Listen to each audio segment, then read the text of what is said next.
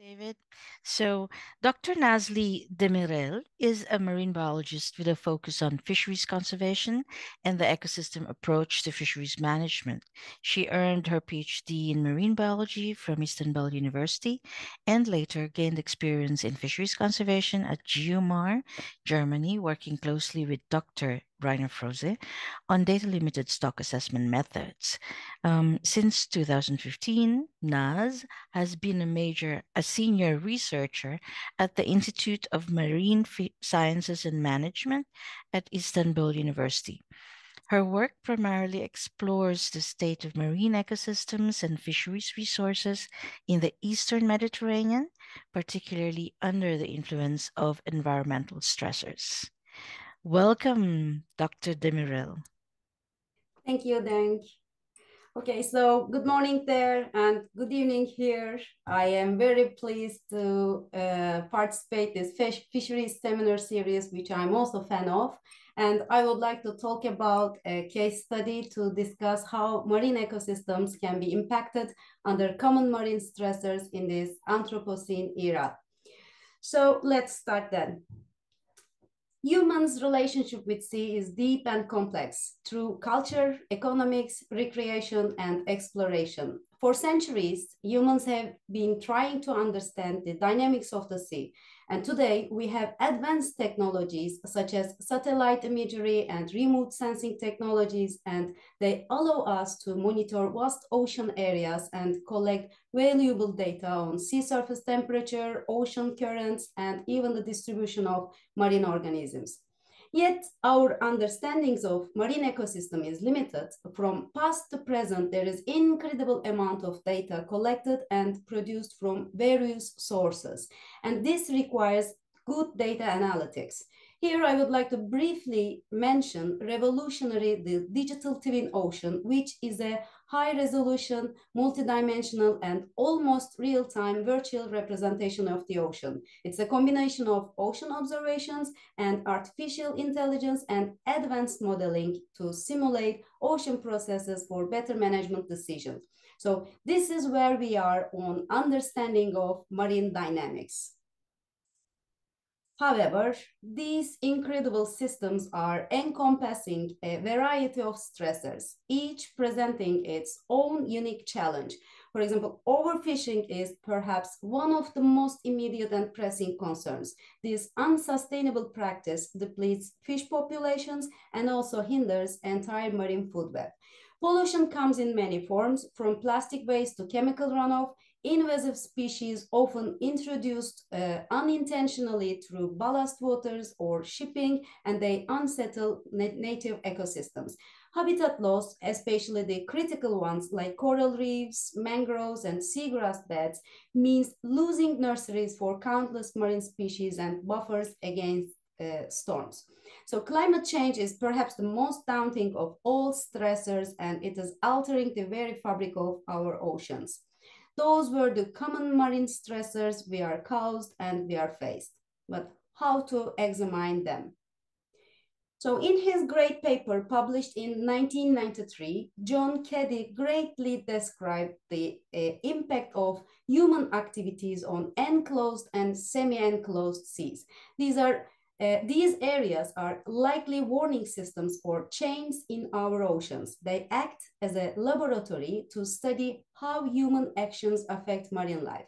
Marginal seas don't exchange much with the open ocean and they get a lot of stuff from the land. So they can't handle the impacts of human activities well. This means when we study the food webs and fisheries here, uh, we have to consider the effects of environmental change as well. So there are two big problems in these seas, nutrient enrichment and overfishing. Both have similar effects. First, less diversity, uh, then more productivity at first, and finally dominance by short-lived species, especially in the open water. So it's hard to separate the effects of these problems because generally they happen at the same time. And now I'd like to introduce you to a remarkable semi-enclosed basin known as the Sea of Marmara. this sea holds a unique positions as a transitional zone between the Black Sea and the Mediterranean Sea. And it is recognized one of the seven ecoregions together with the Aegean Sea and the Mediterranean. The Sea of Marmara owes its significance to Dardanelles and Bosphorus straits, which are among the narrowest and the longest straits in the European Mediterranean region. So these natural passages connect distinct marine basins and also play a crucial role in regulating the exchange of waters, nutrients, and marine life between them. The Sea of Marmara covers a small area with moderately deep regions. It's like a big bowl with some underwater valleys and reefs. The deepest part is over 1000 meters, but the rest uh, are shallow areas up to 200 meters. So let's look at the water circulation. Uh, the surface current occurs by water comes from the Black Sea through the Bosphorus. And once the Black Sea water enters, it splits into different streams. So some goes east, some goes west, and some go north. These currents can create circular patterns in different parts of the sea. And in the lower part, water from the Aegean Sea flows in through the Dardanelles and it flows a canyon-like path. Also, Black Sea is above average 26 centimeters in the water level than Marmara. So the Sea of Marmara has a unique hydrography and why I'm saying this because it has two layers of water separated by a strong middle layer starting at 15 meters and ends at the uh, 30 meters. So please look at the vertical profile of salinity and the temperature in the graph. So this water stratification is permanent, meaning not occur seasonally as it happens in temperate climate seas uh, uh, called thermocline layer. So, so because there is a very strong vertical salinity gradient which separates the upper part and the lower part of the sea with halocline layer. So this is density dependent uh, stratification. So there is a high seasonality in the mixing of Black Sea and the Mediterranean water. For example, during summer, due to high surface temperature and less wind, uh, the Bosphorus current is stronger, making the surface less salty. In the winter, strong winds and cooler surface waters mix the layers, making the surface saltier. And when we look at the renewal, uh, water renewal time, the upper layer can be fully renewed in three to four months, while the lower layer takes uh, much longer, about six to seven years. So this unique hydrography was center of attention in history as well, especially Bosphorus. For example, in the late 17th century, an Italian engineer, Luigi Ferdinando Marsili, started a journey from Venice to Istanbul and conducted some groundbreaking scientific measurements. He measured the density of seawater and found there was hidden current beneath the surface of Bosphorus. His experiments identified the differences between uh, water density between the two seas created a hydrostatic pressure driving the flow of water through the straits. So this scientific inquiry marked the birth of oceanography by Bosphorus. So if we continue, likewise, its physical properties, the chemistry of the upper layer it's, is also shaped by the Black Sea water in the Sea of Marmara. This water plays a significant role in determining the nutrient levels in the sea. So there is a permanent layer in the Sea of Marmara shaped by halocline as salinity stratification, but it is also uh, matched the thermocline as temperature stratification. And now there is also nutricline as nutrient stratification. Those layers uh, lie between the 15 to uh, 30 meters and they all act like a barrier for salinity, temperature, and nutrient, and they limit the mixing between the upper and lower layers material exchange. In general, the Black Sea stands as the primary source of nutrients and organic matter. This is why the upper layer chlorophyll A values indicate high productivity similar to the Black Sea. So most of the surface nutrients are utilized by phytoplankton uh, through photosynthesis. Phytoplankton primarily inhabit uh, uh in the upper 20 meters because this zone receives the sufficient light for photosynthesis. So this region also coincides with the nutricline layer. So I can say that the health of the Sea of Marmara's ecosystem can vary depending on the location and the time of the year. It can range from a relatively balanced state, mesotrophic conditions in summer and autumn season, and overabundance of nutrients, meaning a eutrophic condition in winter and springtime. Also, eutrophic uh, structure lessens from northeast to the southwest. So what about the macro species, macro biodiversity? So Bosphorus is recognized as ecological corridor that provides ecological connectivity between Black Sea and the Mediterranean. So far, there are 1,000 of macro species, including invertebrates and algae, between uh, uh, uh, and over 250 fish species are reported in the sea. When we look at the origins, habitats and resilience levels of its fish fauna, a substantial number of fish originating from the Atlanto-Mediterranean and uh, five species that hail from the Indo-Pacific region. A significant majority are demersal, following by pelagics, meaning a substantial number can be discovered at shallow areas up to 200 meters deep. And the resilience classification indicates that high portion fall into the medium resilience category, indicating their ability to adapt various conditions. So considering Marmara's physical structure, it is well expected also.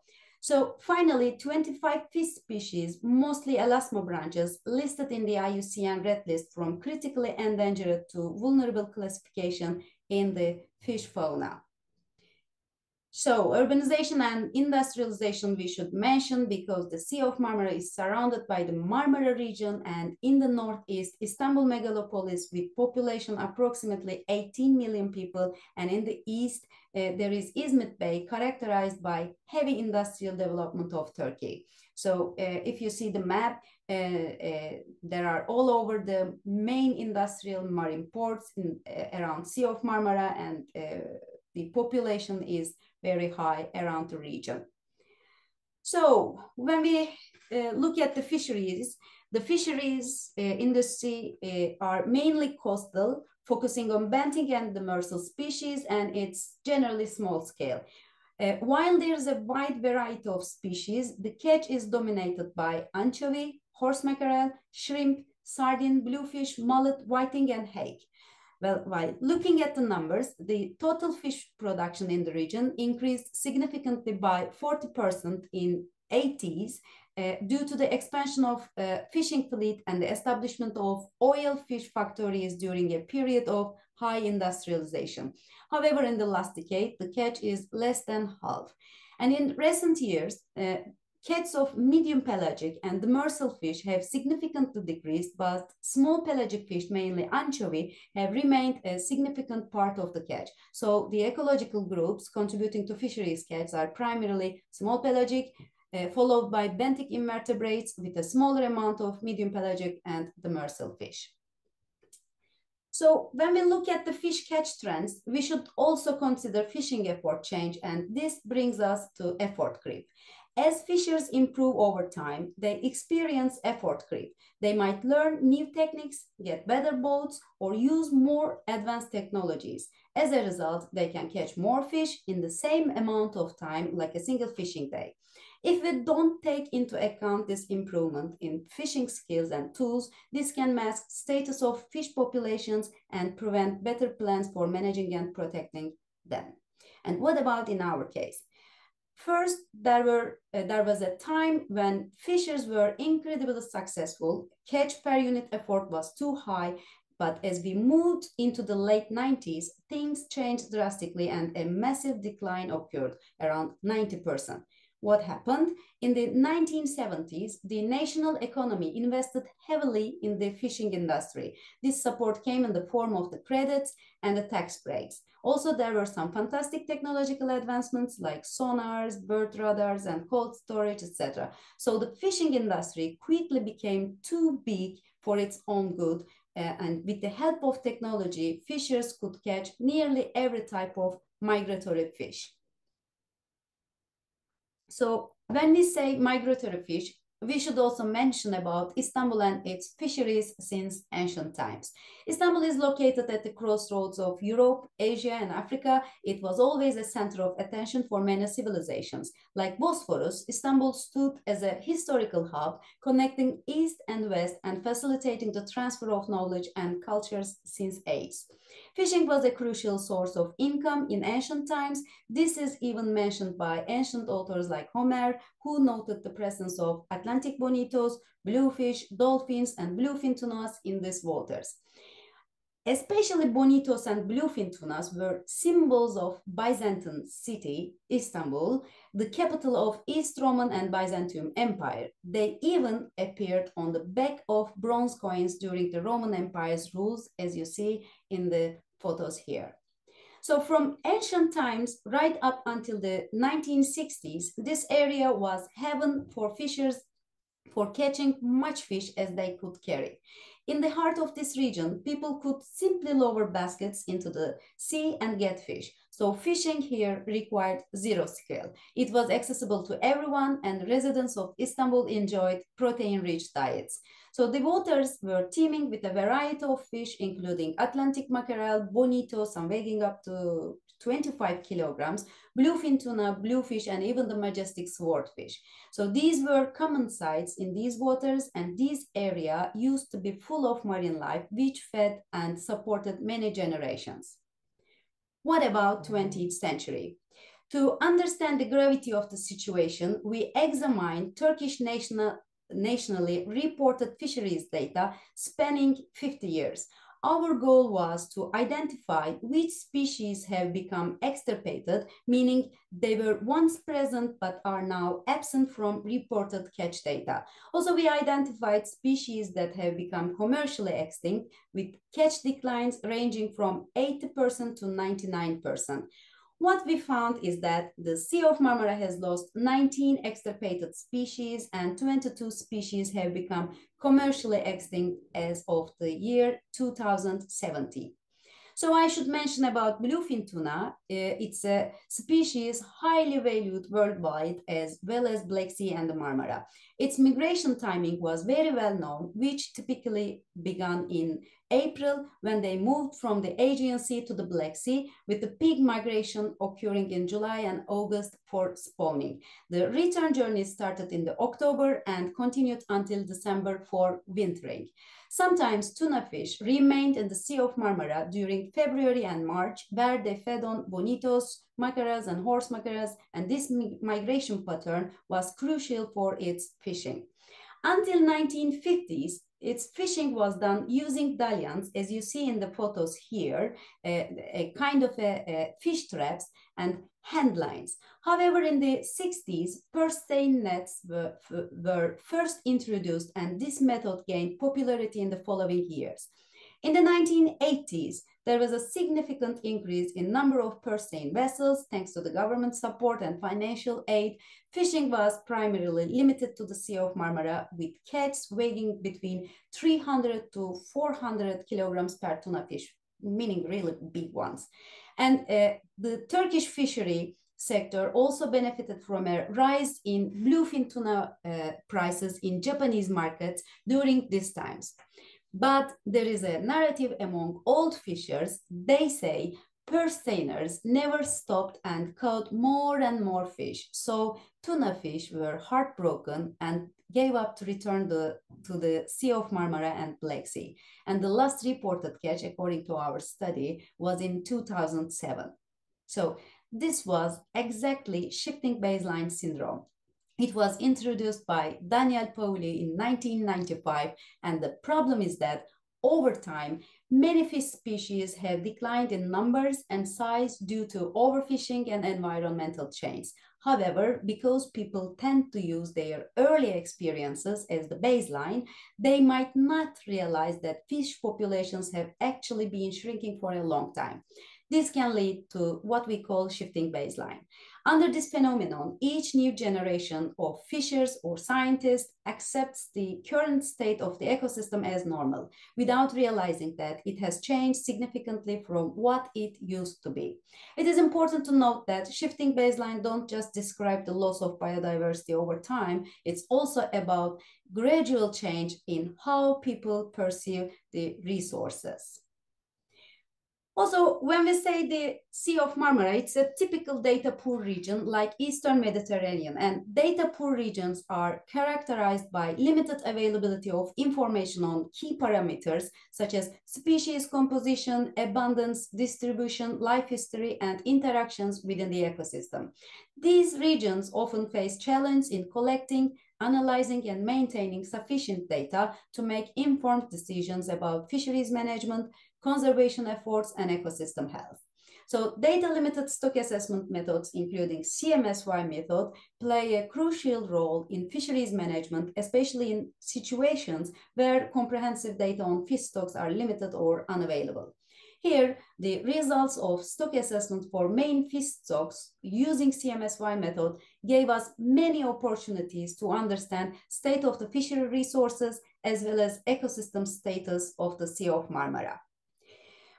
So using CMSY, we focused on 11 species that make up 90% of the total catch, and these species can be grouped into the three categories, small pelagic, medium pelagic, and demersal fish, plus one type of benthic invertebrate. In almost all cases, the fishing pressure was way too high. As a result, the amount of fish available for catching was decreasing. And for most stocks, it was at critically low levels. Only the sardine is moderately okay, but for the rest, especially species like bonito, anchovy, and Mediterranean horse mackerel, they were under a lot of pressure from fishing. Now, when we look at uh, uh, uh, how much fish we were catching compared to how many were left in the sea, it wasn't looking, looking good as well. The demersal fish had decreased by about one fifth, and the medium pelagic fish had decreased by half in just two decades. This means they were being caught faster than they could reproduce.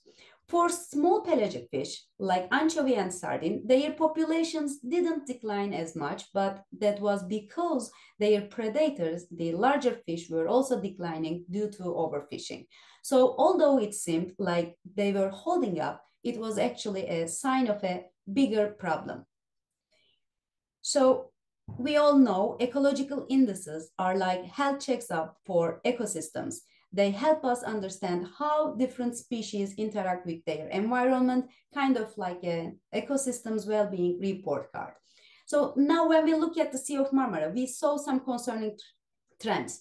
Uh, the mean, mean uh, trophic level of the catch, which shows the health of fish populations, went from trophic level 4 to uh, trophic level 3.2 in 50 years, which is a significant drop. This means we are seeing fewer big predators and smaller prey animals in the ecosystem. As for the fishing imbalance index, it was on negative side, but also started declining in 2000 and hit its lowest point in 2021. This suggests that the balance between what we are catching and what is naturally there in the ecosystem is getting messed up. So we would like to understand food web relation under those circumstances. By using CMSY biomass outputs for fish stocks, we conducted analysis on food web structure via EcoPath.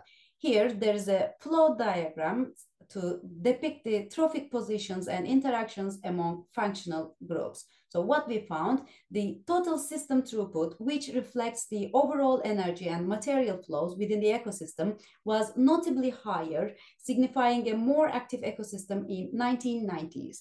Following decades, there was a decline in, in uh, system throughput, indicating a decrease in the overall activity of the ecosystem. From 1990s until now, we observed an increase in the system's ascendency and a decrease in its overhead, indicating a shift towards a vulnerable and disturbed ecosystem. Energy transfer efficiencies between trophic levels showed a gradual de decrease, suggesting that energy was less efficiently transferred within the food web. Specifically, there was a slight reduction from trophic level 3 to trophic level 4. And the change in mixed trophic interactions and keystone species in the ecosystem represented a strong interplay between bottom-up and wasp-waist controls. Particularly, mesozooplankton indicated the bottom-up resource-driven nature until 2010s, and anchovy played a bottleneck role in the distribution of energy from lower trophic levels to higher ones until now. Also, as for bluefish, a warm water species with a high thermal tolerance, their importance and influence saw a notable increase from the 1990s uh, to the 2010s, underscoring their evolving role uh, in its food web. So when we say warm water species and high thermal tolerance, what about climate change? We collected sea surface temperature data and checked its trend and basin-wide situation. So sea surface temperature showed positive trends with certain increase per annum is around 0.05 uh, centigrade degrees. And sea surface temperature for, for basin-wide also showed an overall increase. Much of the increase occurred along the coastal areas where water circulation is lowered. However, the straits uh, are cooler due to the fast water circulation and along the Istanbul Strait, the increase was much higher than the Çanakkale Strait. So compared to neighboring seas with the Sea of Marmara, sea surface temperature show a slightly lower warming trend than the Black Sea, but slightly higher than the Aegean and the Mediterranean seas. So since we have limited data and no abundance or spatial distribution of fish species, we try to understand possible impact of climate change on the most important fish species, meaning pelagic fish. We used monthly landings data of Istanbul Fish Market to see some trends. First, the landings of small and medium pelagic fish follow a distinct seasonal pattern. But as, but as I mentioned earlier, this is not a new information. Rather, it has been very well known since centuries because especially bonito and also bluefish are iconic species in Istanbul history and their seasonal migration was festive time in Bosphorus residents. However, when we examined the timing of the fishing season, we noticed shifts. For anchovy, sardine, and Mediterranean horse mackerel, duration of the fishing season shifted one month earlier than before. As for bonito and small blue, bluefish, it extended by almost one month delay. So our conclusion is possible climate change impact on migration pattern of pelagic species, meaning further change in food web relation as well. So here we should remember what resilience and regime shift are. The term resilience is widely used to characterize the capacity to deal with perturbations. An ecosystem's equilibrium state has responses to change in the environment. This response can be a change smoothly, as seen in the A in the graph, uh, or st react strongly, as seen in B, or further, there can be two states, as seen in C. And regime shifts, please look at the photo in the left, regime shifts in the marine environment indicates transitions between alternate ecosystem states. The criteria for identifying a regime shifts consider the interactions between external factors, typically abiotics, uh, drivers, and the ecosystem's reactions, typically a biotic or ecosystem state. And if their relationship is nonlinear, it is characterized as a sudden or abrupt shift from one dynamic regime to another or discontinuous regime shifts. So because we were able to obtain relative biomass outputs for main fish stocks by CMSY, we go further after identifying stock status, food web relation by ecopath, and decided to consider regime shift analysis by integrated ecosystem assessment to understand synergistic effects of fisheries, nutrient pollution, and climate on the Sea of Marmara ecosystem. So we put great effort to collect all available historic data. It wasn't uh, easy, uh, especially on water quality, mainly nutrients and dissolved oxygen, but also climate indices, fishing mortality, and population growth of Marmara regions are considered as drivers. Here you see uh, in the right the principal component analysis for biotic, abiotic, and for all variables separately also changed in time according to the first principal component, the red line, uh, to understand where it started and where it ended. Uh, time series development of uh, uh, biotic and abiotic variables were checked by traffic light plot and anomaly graphs. As seen in the upper part, biotic variables, mainly fish biomass, also dissolved oxygen values, fell upper quantile and positive anomalies in the beginning of time series and fell the lowest quantiles and the negative values at the end. Nutrients in the middle part were lowest at the beginning, then gradually increased and peaked, but then decreased and close to initial state at the end. Climate indices at the bottom and fishing pressures were the lowest at the beginning and the highest at the end. So based on those results, we can say the Sea of Marmara's pelagic ecosystem has seen major shifts over the uh, past 25 years. We observed significant change in both ecosystem state and its drivers influenced by human uh, actions. These changes can be grouped into three periods. The, uh, please look at the uh, uh, diagram here. the initial period under the top-down control of medium pelagic predators, Atlantic bonito and bluefish here, until the mid-1990s a transitional period between mid-1990s and mid-2010s during which the ecosystem was reorganized and the late period from 2015 to 2020 when the ecosystem entered a new state.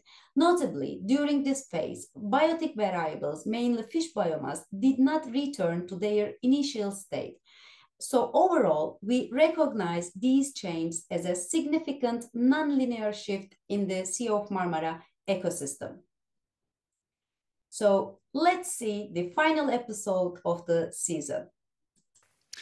In Turkey, a slimy floating mass of yellowish white sea slime is threatening marine life and the fishing industry, especially in the Sea of Marmara and the waters south of Istanbul. But it's also in the Black Sea and the Sea. Uh, the so-called sea snot it is caused by poor waste management, helped along by rising water temperatures due to global, global warming. The Turkish government recently launched an action plan to clean up the slimy, slimy substance. Many say the efforts come too late. Our correspondent has braved the waters of the Sea of Marmara and sent us this report. Webs of thick yellowish slime. They are covering corals wrapping themselves around crabs and sea urchins, suffocating marine life. But this isn't a horror movie. It's underwater footage from the Sea of Marmara, off the coast of Istanbul. The so-called sea snot, in science speak marine mucilage, is produced by some algae. The slime has been spreading for weeks, thriving on warm temperatures and pollution. It's a man-made disaster. The sea snot is very difficult to grab hold of. This stuff is so slimy, it slips through your hands and back into the water. It's really revolting. An aerial view illustrates the extent of the environmental crisis. Carpets of mucus along the coastline, clogging ports and beaches. As well as affecting the Sea of Marmara and the metropolis of Istanbul, the slime has also taken over parts of the adjoining Aegean and Black Seas. It's a threat to the local fishing industry, and swimming is now impossible in many places. I had heard of the sea snot, but now I can see how bad it really is. I tried swimming where there is less of it, but my skin still felt itchy. We usually come surfing here every week, but now we are really worried. We have to go further out because the slime is all over the shore. I've been diving here for 10 years, but I've never seen a natural disaster like this. There was sea snot when I was a child, but it was never as bad as this. The Turkish government has recently started to tackle the problem. the Environment Minister launched a massive cleanup operation. Dredgers are pumping out the slime, and workers are bringing the muck ashore for disposal. It looks like an impossible task, and many experts say it's already too late. Biz onlardan korkuyoruz. Aha geldi. What we see on the surface is very worrying, but it's just the tip of the iceberg. The real problem is under the water. This is where the slime is spreading, and it's getting worse every week. Her hafta biraz daha ağırlaşıyor manzara. Marine biologists like Mustafa Sarı say the scourge of sea snot is not just a Turkish problem, but a stark warning to the world that climate change is pushing our planet's life support systems to the brink.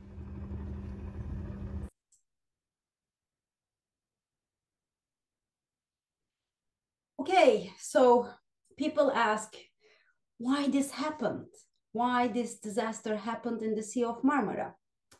We know why it's happened.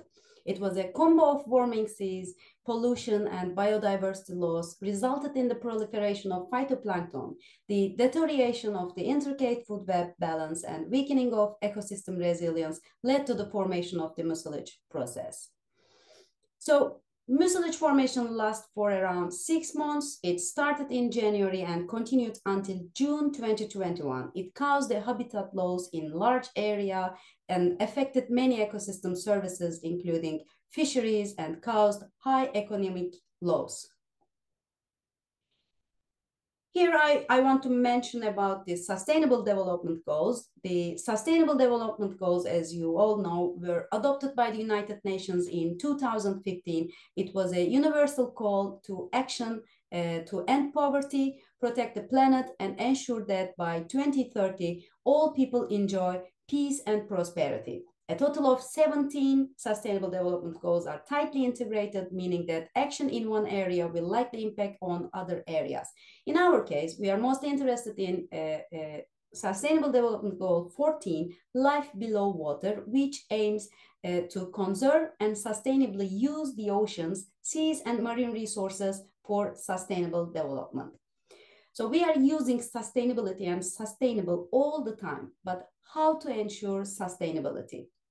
So this is where the ecosystem approach comes into play. The ecosystem approach is a holistic strategy that recognizes the complicated connections between living organisms and their environment while making decisions about resource use, conservation, and development.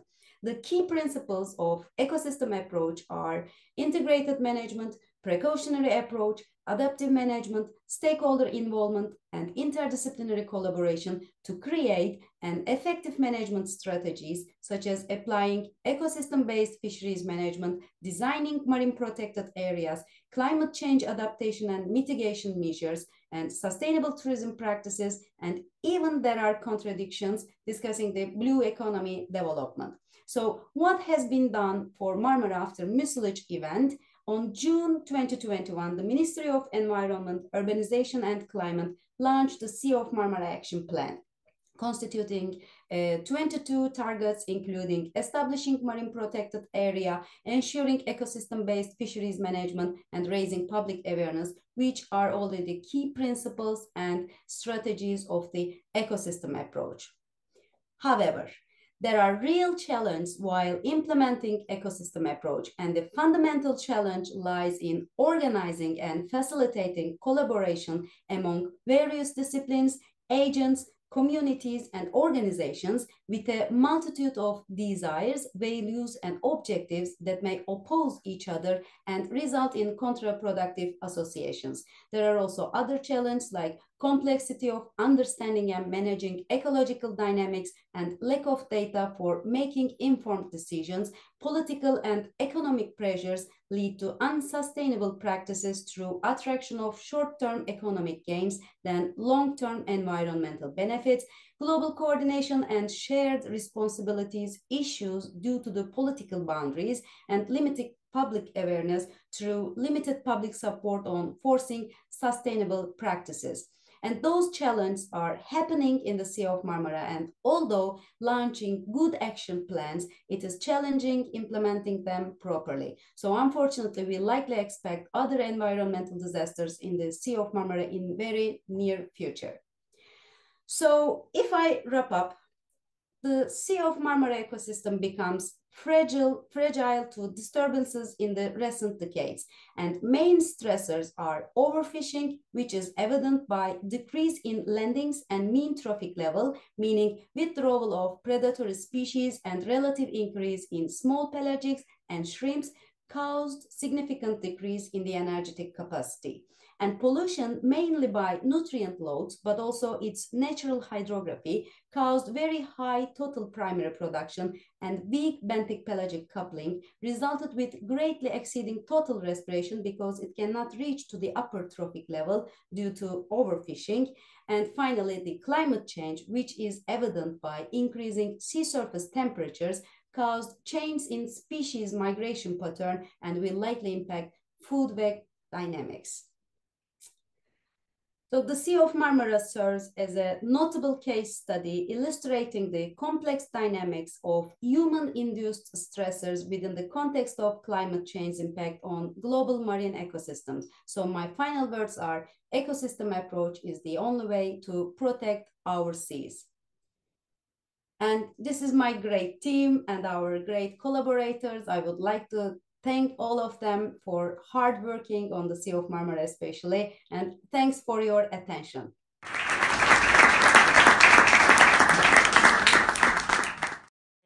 Uh, so my question was if if the 2021 mucilage event affect other areas in the Mediterranean and where? Uh, well, uh, we know that Black Sea is affected actually, uh, and also some, uh, especially the northeast part of the Aegean Sea, uh, really affected. And some colleagues told us they saw some kind of mucilage formation, not the strict one like in the Sea of Marmara, but they saw also the mucilage formation in especially the North Aegean Sea. Um, Spencer, do you want to go ahead and ask your question? Um, yeah, I was just wondering if there's been much uh, work or research uh, into human-driven ecosystem changes in the area that occurred before the 1980s or, or uh, that occurred before sort of the temporal scope of your study? Okay, uh, so yes, thank you for this question. It is important. Uh, uh, actually, in 50s 1950s uh, there is a, a, great hydrobiology institute in istanbul and uh, they were uh, they made really great works uh, in the sea of marmara identify the especially this migration pattern and some uh, uh, spawning areas nursery areas. And there are also some how pollution research at that time. But um, while we try to collect the data uh, data set, it wasn't easy to understand the units and the uh, uh, measurement or, or analyzes, uh, especially for, so we couldn't combine them uh, together and we tried to put too much effort and it was only from 80s to 2021 we, we, we could able to collect data. So yes, there are data and we can read, but uh, we cannot um, collaborate all of them because of the some differences in units and some differences for the analysis techniques actually. Um, Parker was wondering, um, do we know what species of algae are producing all of the mucus? Yes, there are uh, many studies on that. Uh, uh, one colleague from Istanbul University working on phytoplankton, uh, she said it's a, a new species, uh, possibly uh, enters via ballast waters. but it is not published yet, I think.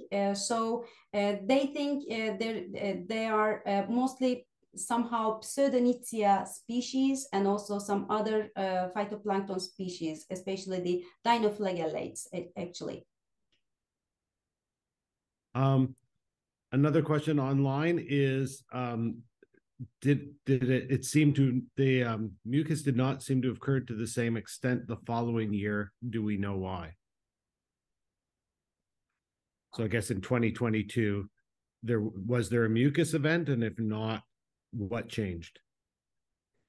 Um, actually, the the the the the thing is, um, this is a really combo of the uh, both the uh, uh, uh weather conditions uh, and somehow, uh, for example, at that time there was there was too much bonito and bluefish around, and this makes less fishing pressure on anchovy and sardine, like small pelagic fish. So this creates a, a, a predatory pressure on zooplankton, and this also creates less predatory uh, predation, uh, less predation on phytoplankton. So this is kind of a all uh, chain reaction and it happens while with the uh, good weather conditions like some warm water less uh, wind driven in especially in the autumn time and also uh, somehow the uh, differences between the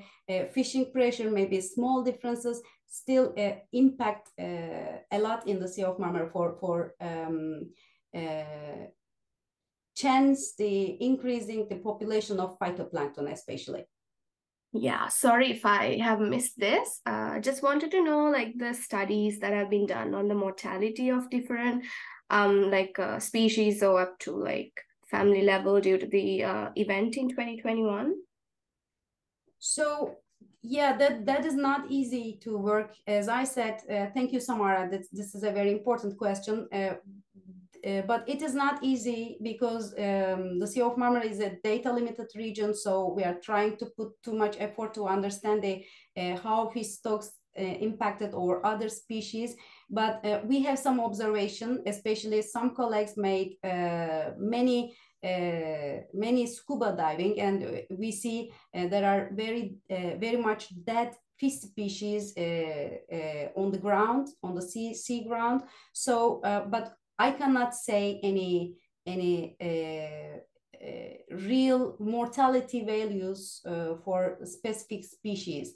Um, and uh, still we are uh, trying to understand how it impacted the fish stocks especially and yet stock assessment results is not so informative for us um, there's a related question in, in the chat about whether there's been investigations of it on um, the zooplankton population?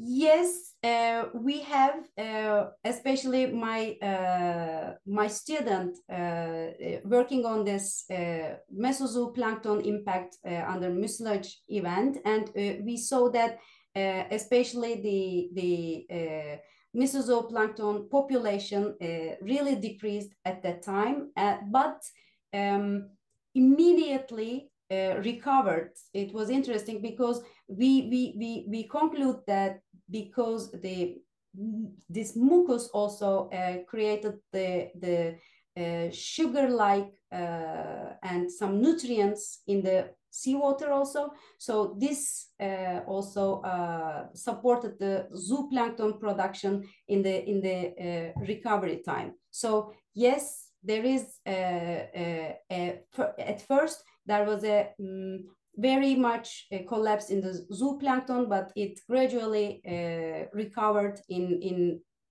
six or seven months.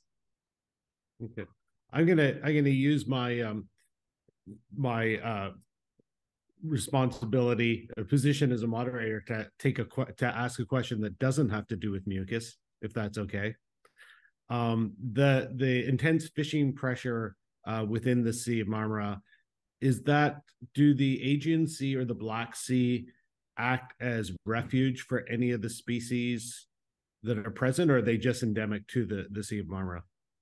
Yeah, that's a very good question. Thank you, David. Yes, um, probably, especially in the uh, let's say something uh, in the Sea of Marmara, uh, the the northeast close to the Black Sea and southwest close to the Aegean Sea are very distinct uh, regions actually. Because one is especially the southwest part is high biodiversity uh, with uh, mostly uh, similar to the Aegean Sea, but in the northeast part is uh, kind of like uh, mostly pelagic species and not much demersal species. So this region-based uh, differences also, um, uh, as we understand, uh, create some uh, refugees or migration of some, especially fish species and some some invertebrate species to go further through the Sea, actually. But for Black Sea, Mm, I cannot say actually uh, this happened. Ask this question. Thank you uh, very much for a very very interesting uh, and um, um, um uh, uh, presentation too. Um, so I have a question. Uh, I mean, this is um, a um, really dire situations in the ecosystem um, there. Um, so I just wonder what um, is the maybe one or two things that is happening that still give you hope that uh, the uh, ecosystems can be restored um, in the future. So what are the kind of things that now that keep you um, having the hope that this will be one day be solved? Okay, thank you. This is uh, uh, it is yeah, it's a difficult question. Uh, thank you, William. So um, the ministry has this announced this uh, Marmara action plan, and it is really uh, important uh, if if uh, we uh, we we can implement this uh, action plan because it's nicely written and prepared, very good, but.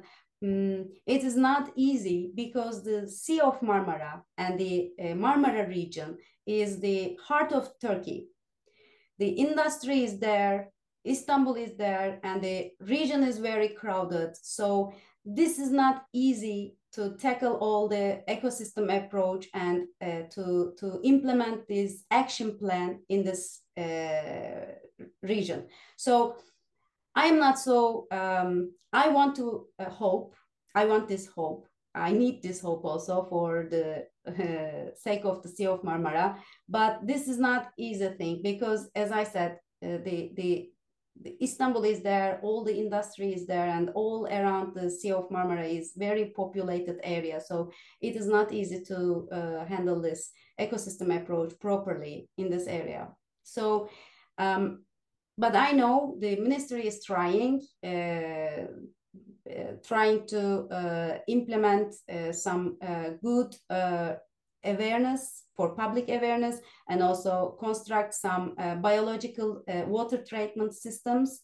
But this is very slow and we don't know what will happen in very near future. I mean for example now we are in the uh, transition uh, season because it's autumn season and this is this means the zooplankton uh, composition is changing.